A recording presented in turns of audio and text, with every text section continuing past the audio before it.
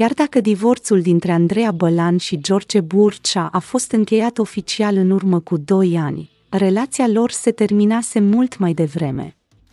Iar acum cântăreața pare că are din nou noroc în dragoste. Victor Cornea a cerut o încăsătorie pe Andreea Bălan în avion, după ce au plecat spre Laponia, iar martorii au fost toți cei aflați în aeronavă, printre care și multe vedete din România. Am spus da.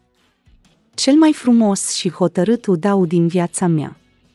Zborul spre Laponia a fost cel mai frumos zbor din viața mea, cu cele mai frumoase emoții și cea mai pură iubire. Victor, ești îngerul meu păzitor.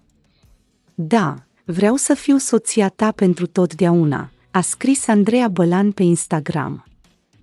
După ce au ajuns în Laponia, Victor Cornea și Andreea Bălan au mers să-l întâlnească pe Moș Crăciun, iar drumul spre casa acestuia nu a fost deloc unul ușor. Drumul spre Moș Crăciun nu e ușor. El stă departe în pădure și la minus 20 de grade trebuie să traversăm un lac înghețat cu o sanie magică, la capătul căruia ne așteaptă clopoțica.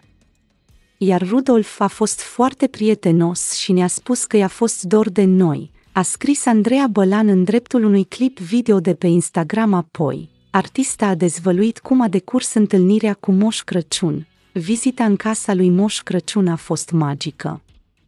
Deși îl vizităm al doilea an consecutiv, ne-am bucurat la fel ca prima oară.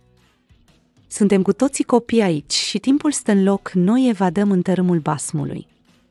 Pentru copii, întâlnirea cu moșul este o magie, iar fericirea de pe chipul lor este tot ce contează. Andreea Bălan a mai dezvăluit că a văzut aurora boreală și că, indiferent de vârstă, toată lumea a fost pregătită pentru multă zăpadă și pentru vizita la casa lui Moș Crăciun.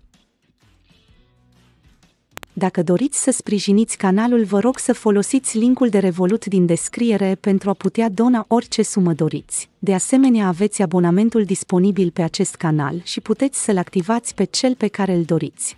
Vă mulțumesc că ați privit până la final și vă rog să vă abonați la canal pentru a vedea mai multe știri de acest gen.